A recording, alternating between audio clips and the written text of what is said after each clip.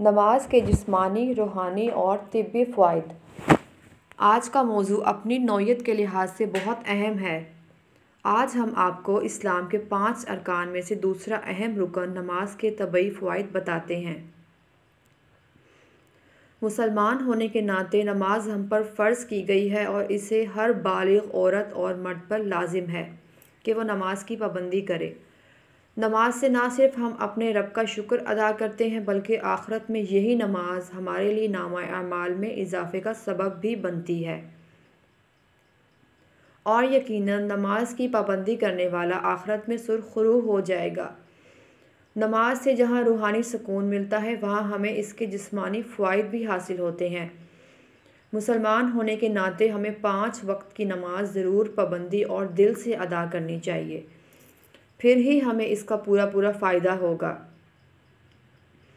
सुबह की नमाज़ अदा करने से इंसान को जो तरोताज़गी मिलती है, इससे वो सारा दिन हशाश बशाश रहता है। इस तरह ज़हर की नमाज़ हमें खाना खाने की बाद की हल्की वर्जिश बन जाती है और असर की नमाज़ हमारे जिसम को आराम देती है। शाम और इशा की नमाज़ अदा करने से हमें रात भर भरपूर नींद आती है। नमाज़ पढ़ने वाले का चेहरा, नूरानी और दिल पुर नूर हो जाता है। जिसम को सुकून मिलता है और नमाज़ कब्र की साथी भी है। नमाज़ पर पढ़ने पर अल्लाह ताला की रहमतों का नज़ूल होता है और ये जन्नत की कुंजी भी है। रोज़े क़यामत नमाज़ हमारे नेकी के पलड़े का वज़न बढ़ा देगी और हमें दोजख की आग से बचाएगी।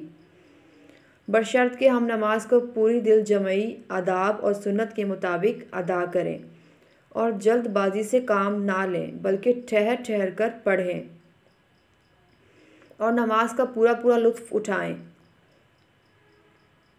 नमाज़ योगा से बेहतर रिज़ल्ट देती है और ये हमारी सेहत को बरकरार रखने में अहम किरदार अदा करती है। नमाज़ की सबसे बड़ी बात यह है कि इंसान साफ़ सुथरा और पाक साफ़ रहता है, जिससे वो कई बीमारियों से बच जाता है। इसके बाद वज़ू करने से तमाम बदन अंदर और बाहर से धुल जाता है और इससे इंसान के जहन कल्ब को सुकून मिलता है। मिसवाक करने से दांत साफ़ रहते हैं और ज़्यादातर बीमारियाँ दांतों से ही जन्म लेती हैं। अब हम जानेंगे नमाज़ के फ़ायद नमाज़ हमें कायल और सुस्त होने से बचाती है। नमाज़ हमें वक्त का पाबंद बनने का दर्स देती है। नमाज़ हमें बेहयाई और बुरे कामों से रोकती है। वज़ू करते वक्त तीन बार हाथ धोने से हाथ जरासीम से पाक हो जाते हैं। मिसवाक और कुल्ली करने से हम मुँह, दांतों और हल की बीमारियों से महफूज हो जाते हैं। नाक में पानी डालने से गर्दो और जरासीम से महफूज हो जाते हैं। चेहरे को तीन बार धोने से हम गिरदो गुबार पसीने और जल्दी चिकनाई से बच जाते हैं। बाजुओं और कोहनियों को धोने और मसा करने से खून बढ़ता है। गर्दन पर मसा करने से फालिस से महफूज रहा जा सकता है। पाँव की सफ़ाई और धोने से इनमें दर्द वगैरह में कमी आ जाती है। वज़ू हमारे ब्लड प्रेशर को नॉर्मल कर देता है। नमाज़ में सीधा खड़ा होने से रीढ़ की हड्डी को सुकून मिलता है।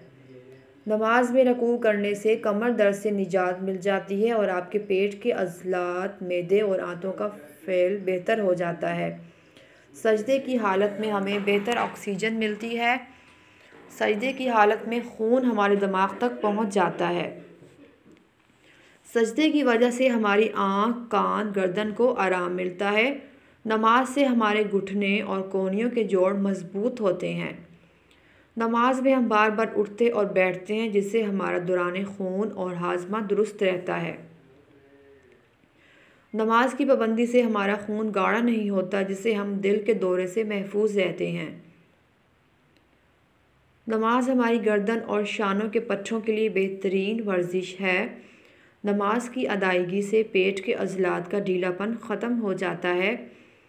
नमाज़ पढ़ने से अज़ा के सुन होने से निजात मिलती है।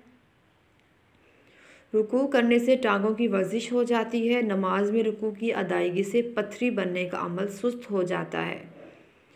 तहजद की नमाज़ पढ़ने से इंसान बुढ़ापे को देर से पहुँचता है। नमाज़ पढ़ने से इंसान कई बीमारियों से बच जाता है, जैसे दमागी, आसाबी, नफसियाती अमराज, जोड़ों के दर्द मैदे, अल्सर, शुगर फालिश ब्लड प्रेशर, आँखों और गले के अमराज से महफूज हो जाता है। दोस्तों, यहाँ आपको सिर्फ़ ये बताने की कोशिश की गई है कि नमाज़ पढ़ने से आपको क्या क्या जिस्मानी फ़वाद हासिल हो सकते हैं।